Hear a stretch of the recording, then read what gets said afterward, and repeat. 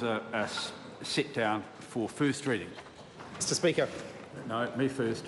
Oh, Um, I have received a letter from the Honourable Dr Nick Smith seeking to debate under Standing Order 389, the delay in the release of census data and the participation rate in the census.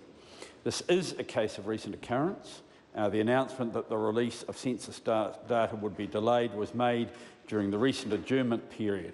The census is a matter for which there is ministerial responsibility. The test for whether a particular case requires the immediate attention of the House is a high one. Uh, the fact that the matter can be raised on a general debate, uh, such as the estimates debate, is a relevant factor. Uh, Speaker's ruling 2151. Uh, Dr Smith seeks to debate uh, what occurred as well as future actions. Uh, these are matters that could be debated in the examination of vote statistics.